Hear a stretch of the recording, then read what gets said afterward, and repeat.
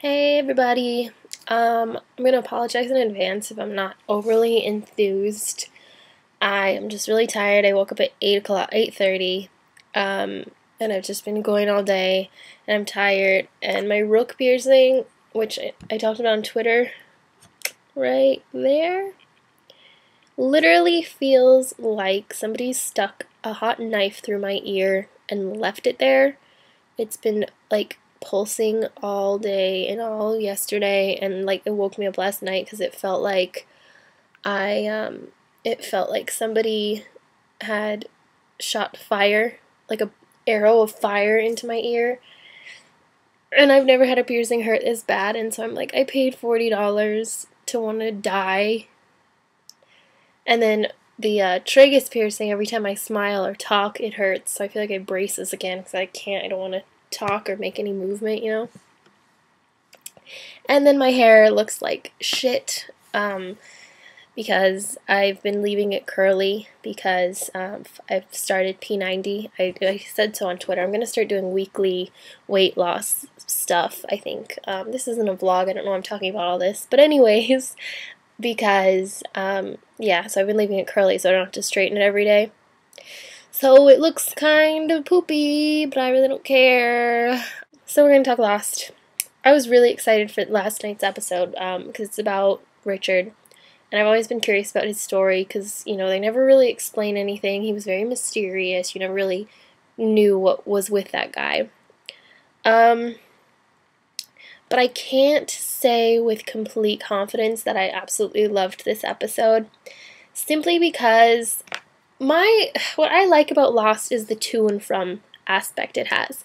You'll be on the island, and then you'll go to a path, uh, flashback, or you'll go to a flash forward, or you'll go somewhere, but then you come back and you see what's in real time because that's what you really care about. You know, it's nice to know the backstory of characters, and it's nice to know what will happen or what's happening in the sideways um, parallel universe.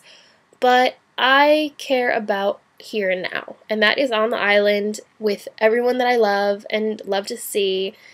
And this entire episode was backstory. And I know it's making up for like four seasons, however long Richard's been around.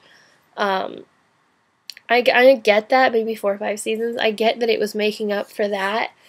But it was just too much, I think. Like, I feel like it could have been a lot shorter. And I mean, all it really did for me at least, was just confirmed what everyone already pretty much knew or suspected.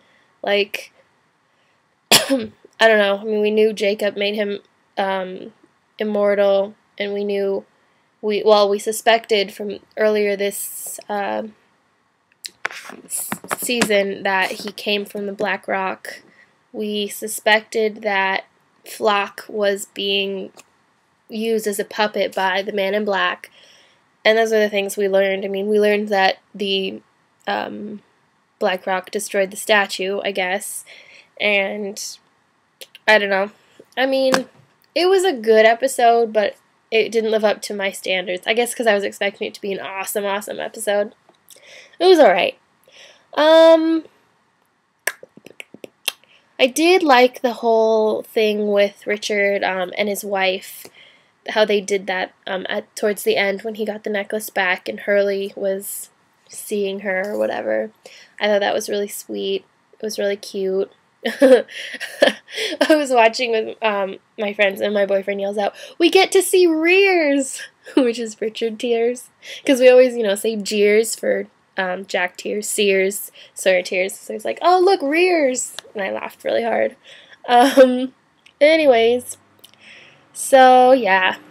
This is a short one. I did like this episode, but just a little bit too much backstory. I thought it was kind of just like, come on, this is the final season. We want the action. And I know that it's just a lot of, it's just, I guess it's just been a lot of build up, which isn't bad, but it's just a lot of build up.